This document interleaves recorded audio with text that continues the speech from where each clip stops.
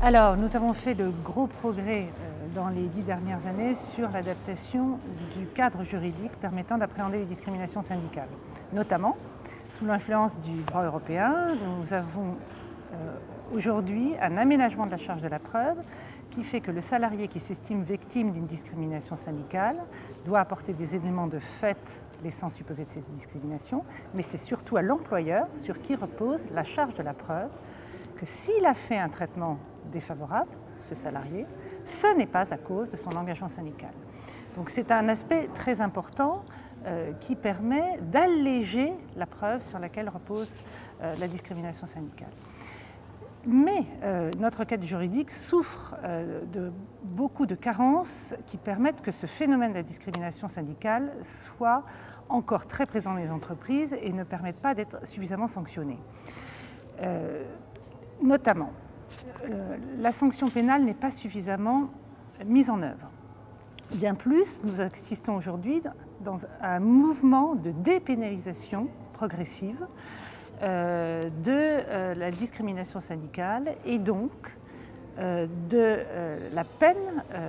encourue par les chefs d'entreprise qui s'adonnent à ce genre de pratique. Nous avons une sanction civile qui est par ailleurs insuffisante puisque finalement les entreprises ont encore financièrement intérêt à discriminer plutôt qu'à ne pas le faire. Puisque quand un salarié discriminé pour des raisons syndicales arrive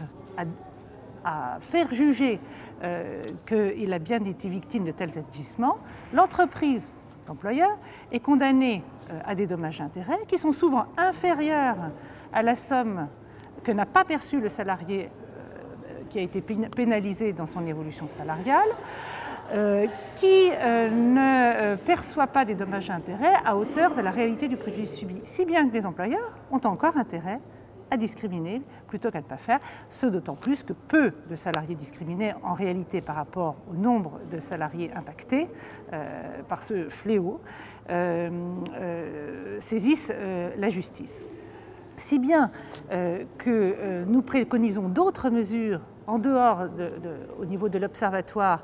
de la discrimination et de la répression syndicale, qui permettrait d'aller dans le sens d'une meilleure dissuasion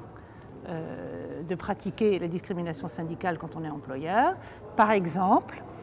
une euh, sanction financière bien plus importante en ce qui concerne le préjudice moral, qui doit véritablement être prise en compte. Par exemple, une publicité des décisions judiciaires de condamnation, qu'elles soient civiles ou pénale, euh, de façon à ce que euh,